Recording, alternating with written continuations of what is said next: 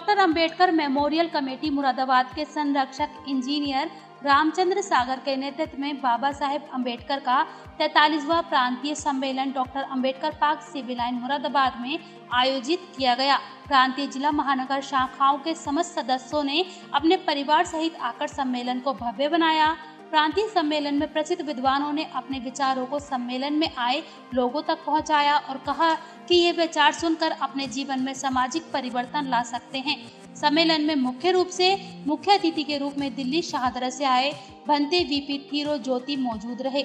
इनके साथ प्रांतीय अध्यक्ष रूपचंद्र भारती, प्रांतीय महामंत्री राजकुमार गौतम, प्रांतीय कोषा अध्यक्ष वंश बहादुर, जिला अध्यक्ष सुरेश चंद्र सागर, जिला कोषा अध्यक्ष माखन सिंह जिला महामंत्री कैलाश राजपूत, महानगर अध्यक्ष विनोद कुमारी, महानगर कोषा अध्यक्ष अंकित कुमार, महानगर महामंत्री अंशुल, सुमन के साथ Lakhpat Singh Ram Prasad Singh, Jitu Singh, Kailash Kumar, engineer VP Singh, RC Maurya, Amar Singh Sagar, Brajnandan, Veer Singh, Hariom Sagar B R Sagar, Videsh Kumar Gautam, Rajpal Singh चमन लता सागर, राजेश कुमार, अर्जुन मनमोहन सिंह आज़ाद सिंह रत्नाकर, नवीन वाल्मीकि आदि लोग मौजूद रहे।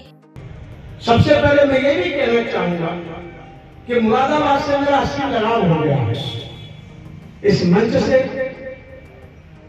और मंच के माध्यम से और कार्यकर्ताओं के प्यार मुझे कई बार यहाँ आने का अवसर प्राप्त हुआ। पता नहीं कैसा वो है, ना आपका छूट रहा है, ना मेरा छूट रहा है। कल मैं ग्वालियर में होना चाहिए था चेन्नई में मेरा कार्यक्रम लगा था। मुरादाबाद के साथ साथ बरेली में कार्यक्रम कल का था मेरा।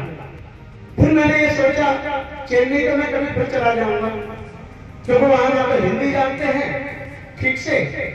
मैं जब तेलुगु सीख लूँगा, जब जब देखूँगा, लेकिन मुरादाबाद के लोगों के बीच में मुझे ज़रूर जाना चाहिए।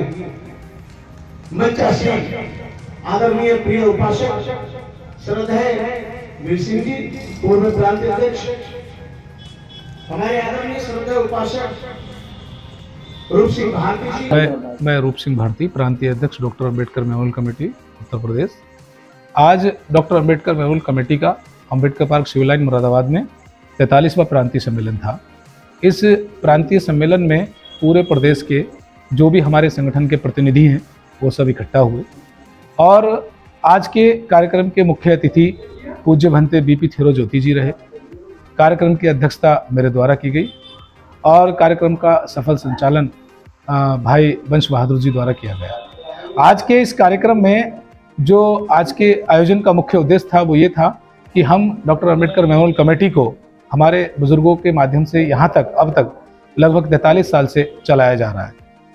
हम लोगों ने ये मूल्यांकन किया है तमाम पदाधिकारियों के साथ बैठकर कि क्या हम डॉक्टर हम लोग सामाजिक संगठनों के माध्यम से इस देश के दबे कुचले वंचित असहाय लोगों की मदद करते हैं।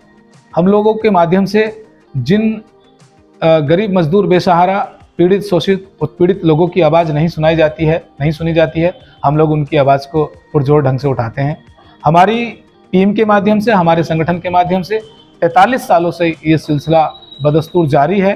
हम लोग बहुत सारे जो जो सामाजिक मुद्दे हैं, उनको उठाते हैं।